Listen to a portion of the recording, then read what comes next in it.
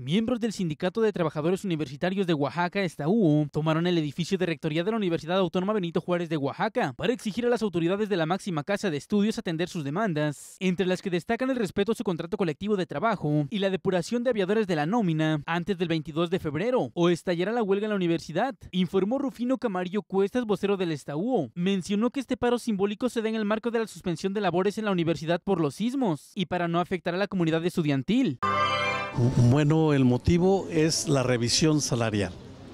Como deben saber, de manera bianual hay una revisión contractual y una revisión salarial.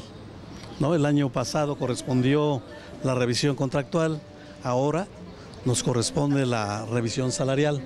Uno de, los, de las demandas principales y que no, no han sido cumplidas es la transparencia de la de la nómina, en donde por supuesto hay, hay este, mucha irregularidad, hay, ahí hay familiares, porros, y actualmente a pesar de lo que se argumenta de que no hay recursos porque la, la universidad está pasando por una crisis económica muy aguda, eh, tenemos que se han contratado más de 200, 200 plazas en la Facultad de Derecho, con personas que por supuesto no cubren siquiera el perfil mínimo académico que se requiere y en cambio se ha descargado a, personal con perfil,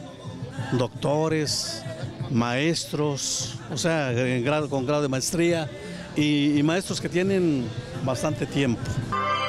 Por otra parte, quienes también se dijeron miembros del ESTAU, encabezados por Romualdo Toledo Ambrosio, secretario general, tomaron las oficinas de la Junta Local de Conciliación y Arbitraje y cerraron con camiones del transporte público el bulevar Eduardo Vasconcelos para exigir el cumplimiento de demandas similares. Sin embargo, Camarillo Cueva se deslindó de esta protesta, pues dijo son un grupo minoritario de miembros que no los representa, que carece de reconocimiento legal y que solo busca beneficios personales.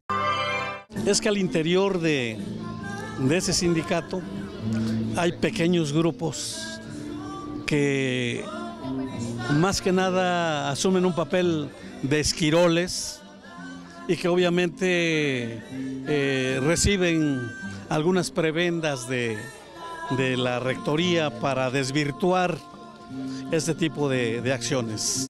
Aquí estamos los representantes de, del grupo mayoritario, el grupo representativo del Estaú. Lamentablemente hay pequeños grupos que siempre han obtenido prebendas, ¿no? Y, este, privilegian su interés personal o de grupo antes del interés colectivo y que al final de cuentas pues son beneficiados con, con todos los logros que, que hemos llevado a cabo siempre.